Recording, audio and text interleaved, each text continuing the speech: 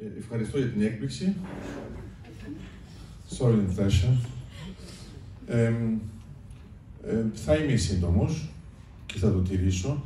Ε, θα ήθελα να σας πω ότι κανονικά, άμα κοιτάζετε τα μέσα μαζικής ενημέρωσης ε, αυτή την περίοδο, πρέπει να είστε κάπως πεσμένοι. Ε, να ξέρετε ότι είναι απλώς επειδή προτιμούν την κινδυνολογία. Άρα εδώ έχουμε ένα περιθώριο που έχει σχέση πιο πολύ με τα ενεργειακά. Εγώ είμαι πιο πολύ σε θαλάσσια οικόπεδα. Λίγο πιο μεγάλα από τα δικά σας. Έχετε 13 πάνω στην Κύπρο.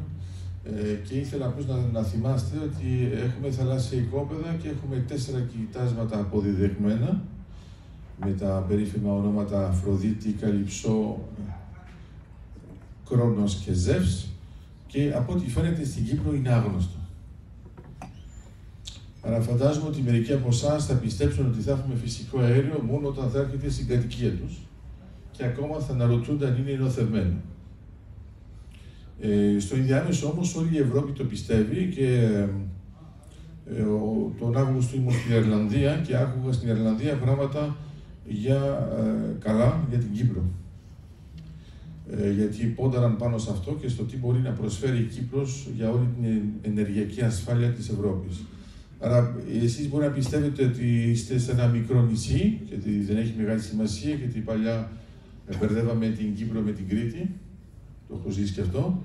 Ε, τελικά τώρα αυτό που φαίνεται είναι ότι στα ευρωπαϊκά φόρα ε, βλέπουμε ότι η Κύπρος έχει ανεβεί και εγώ αυτό που βλέπω προσωπικά είναι ότι υπάρχει μια μικρή καθυστέρηση εντός της Κύπρου.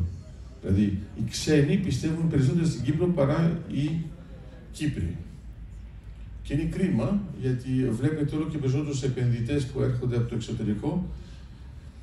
Και σας το λέω με αυτό, ελπίζω με χιούμορ, είναι ότι κάποιος έχει ένα σπίτι εντάξει, και θεωρεί ότι δεν έχει μεγάλη αξία και ο διπλανός έχει ένα άλλο σπίτι και λέει ότι το δικό μου το σπίτι είναι σημαντικό γιατί είμαι ο γείτονα του άλλου. Ε, και έχουμε καταντήσει να είμαστε έτσι, αλλά προσπαθώ να σας πω ότι ο συντονισμός με εταιρείες όπως είναι η Total, η Eni και η ExxonMobil ε, δεν έρχονται εδώ επειδή είναι φιλανθρωπικά ιδρύματα. Έρχονται εδώ γιατί θα κάνουν μεγάλες business, πολύ μεγαλύτερες από ό,τι πιστεύετε και ε, για όσους ξέρουν, επειδή άκουσα και για 0,5 billion, άρα είναι μερικοί που ξέρουν τουλάχιστον αυτά τα πράγματα, ε, αυτές οι εταιρείες δεν μετακινούνται μόνο και για, για να πούν ότι κάνουν γεωτρήσεις. Ε, κοιτάζουν ακόμα το τζίρο που έχουν, το κόστος που έχουν και να ξέρετε ότι αυτές οι μεγάλες εταιρείες μερικές φορές βρίσκουν κοίτασμα και το πουλάνε γιατί δεν αξίζει για την εταιρεία να το πουλήσουν. Ενώ να το κάνουν μεγαλύτερη επένδυση πάνω σε αυτό. Δεν θα έχουν αρκετό τζίρο. Άρα το γεγονός ότι έρχονται εδώ στην Κύπρο και το κάνουν αυτό και συνεχίζουν και μάλιστα συντονισμένα με την Ελλάδα. Δηλαδή η ExxonMobil είναι και στην Ελλάδα. Την ώρα που σας μιλάω, κάνουμε σεισμικά δεδομένα κοντά στην Κρήτη και στην Πελοπόννησο. Όλα αυτά είναι στον άξονα του αγωγού Ισμέτ. Δεν θέλω να σας κάνω ερωτήσεις του τύπου αν πιστεύετε αν ο αγωγός Ισμέτ θα γίνει.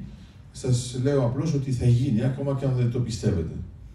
Και δεν είναι καν θέμα της Κύπρου, είναι θέμα πια της Ευρώπης.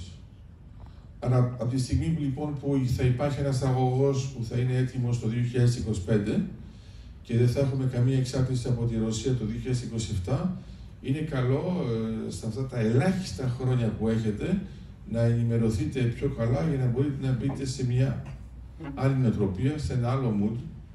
Ε, το μέλλον θα είναι φωτεινό και αν δεν το βλέπετε είναι απλώς ότι επειδή έχει πολύ φως. Να είστε καλά. Thanks,